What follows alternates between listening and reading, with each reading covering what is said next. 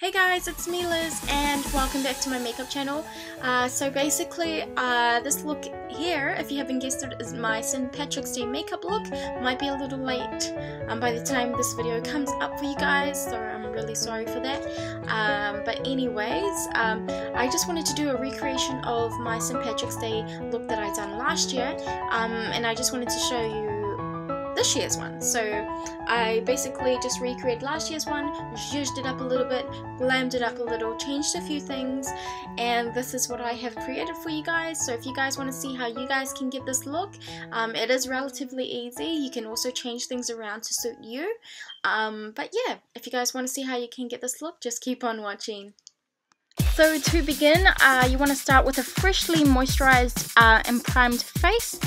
Um, so I'm, I'm gonna adopt this foundation all over my face. I'm using the Body Shop Moisture Foundation in the shade 05 and with the damp beauty blender I'm going to beat that all over my face and blend it in completely. So this is just one pump, um, really does go out, um, really does spread out really well. Um, so now I'm going to move on to my brows. I'm using these two products, these two pencils here. One is from Chi Chi. It is a white eyeliner pencil and the green one I am using is a Glimmerstick liner from Avon.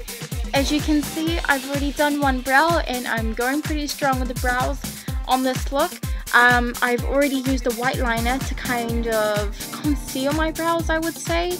Um, I just went over the white because my brows are quite dark. Um, I just wanted to lighten that up so they wouldn't show through the green. If you've got kind of, if your brow hair is very fair anywho, um, you can skip that step and go straight on to this part right here. Um, so basically I'm sketching out the shape that I want, um, basically just trying to match um, this brow to my brow that I've already done um, and I'm just copying that as good as I can and then I'm just going to fill that bad boy in. Um, and also once you get to the inner part of the brow you want to use a lighter hand um, because you don't want it to obviously look too heavy or too sharp in that area. So I'm quite happy with that um, but I am going to fix up the arch of the brow because I feel it's a little tiny bit too rounded compared to the other brow so I'm just going to give it a bit more of a sharper corner and just kind of exaggerate it a teeny tiny bit.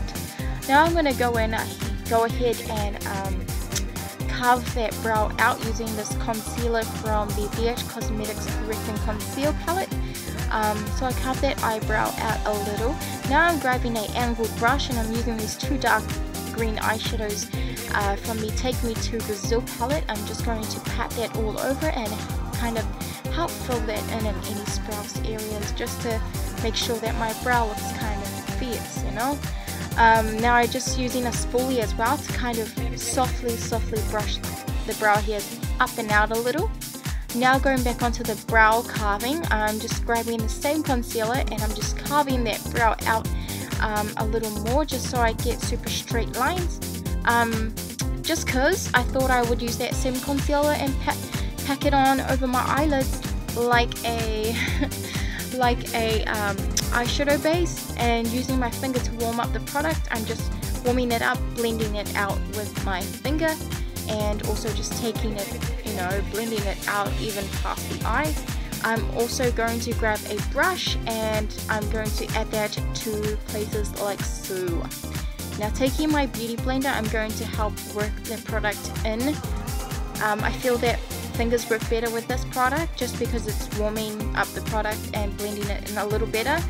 Um, so I thought I'd go back in with the foundation that I used in the first step.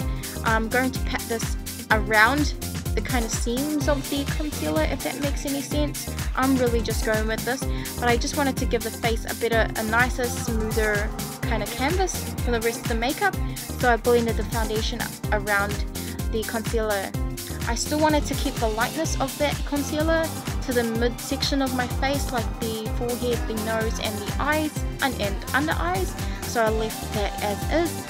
I'm using this gold eyeshadow from the uh, Take Me to Brazil palette and I as you saw I just packed that bad boy into my above my crease area and blended that up and out. I'm also taking the white shade from the same palette and I'm going to blend that under the eyebrows. I'm packing that on under the eyebrows and onto the brow bone and I'm going to blend that out and add a little more gold. Just because my brows are quite strong in this look, the gold is kind of a little lost, but I didn't want to go too, too, too heavy. It is possible to go too heavy. um, so now I'm taking the two lightest green colors uh, from the Take Me to Brazil palette and I'm going to pack that onto the inner part of my brows just to kind of contrast, give a little more dimension to the whole look in general. So now that's the eyes done for now. I'm moving on to liner.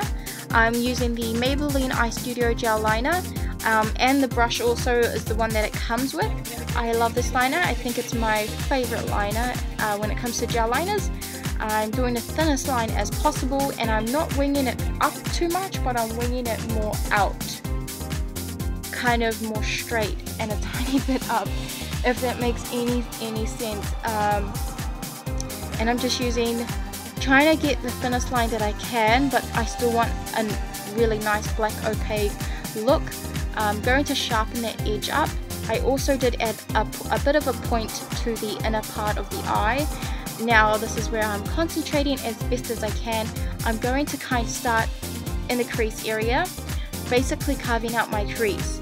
Trying not to kind of get any liner on the underneath where I'm getting because I want this to be a hollow eyeliner look. Kind of like a, basically an inverted liner look.